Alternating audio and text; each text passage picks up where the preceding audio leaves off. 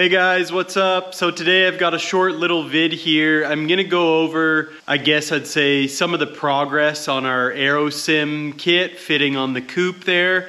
And in addition to that, the main purpose of this video is to show you an example of a $10,000 body kit and a $1,000 body kit. So here we have the AeroSim Coupe WRC wide body kit.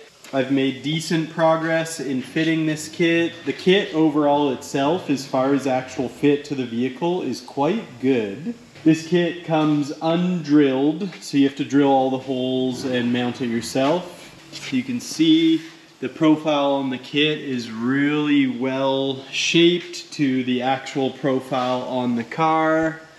And I mean, most of this kit, like this is hanging on there with three Cleco pins. The bumper is hanging on with nothing. It's just sitting there and it almost looks absolutely perfect. And then this fender I have not got as far as drilling holes to mount it behind the door there. but.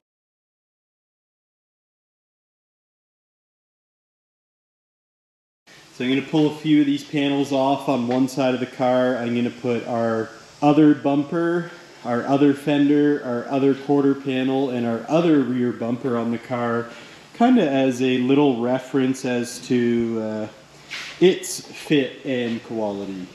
So here we are in the other corner. This is the other body kit. This is from Body Kit Online Store. This is a fiberglass body kit. There's nothing wrong with fiberglass. It's actually, it's nice to work with, very forgiving when you have stuff that doesn't fit absolutely perfect. This kit had been attempted to be installed by someone prior. Very questionable um, fitment attempts.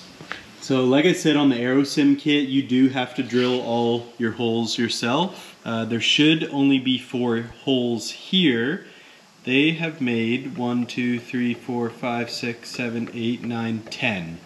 So this isn't something you would blame on the body kit. This is something you would blame on the person installing it.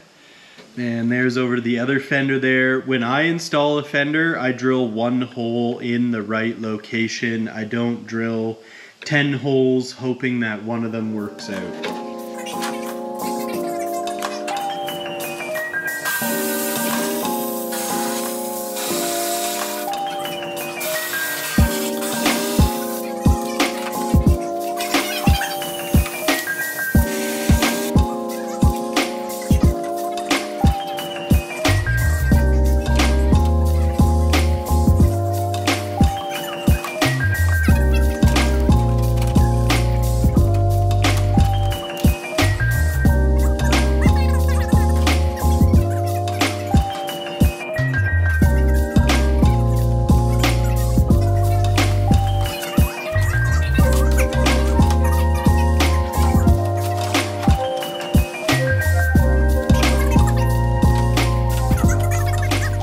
Well, there you have it. This was, as you saw there, maybe a couple minutes of plopping the body kit on.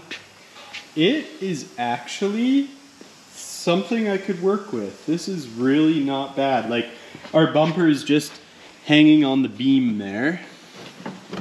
So you could get it to a reasonable location. Our light is just sitting in the hole.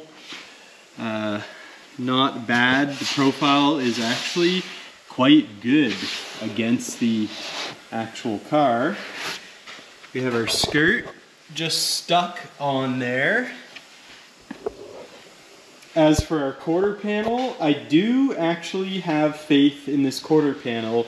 The only thing is, is it has a taillight pocket, an underside taillight pocket, and below it also has a tab there and a bridge across there. So for me to have this sit flat on our car's quarter panel, I would have to chop all this stuff out. And again, like this was kind of just an experiment to see overall kind of how this kit looked, what kind of potential it had.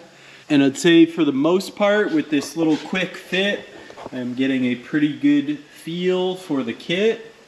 And there now it merges over to the um, Aerosim kit. So the Aerosim is actually a high arch kit, like a WRC kit. This is a 22B kit that we're using below there. So you can see the difference in the wheel arches. This one would carry along something like that.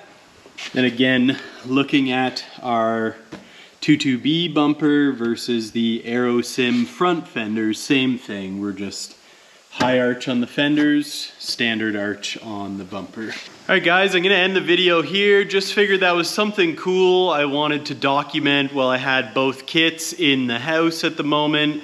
I had picked up this kit for sale, used, partially installed, but I'm actually really happy with it for the money that I paid for it.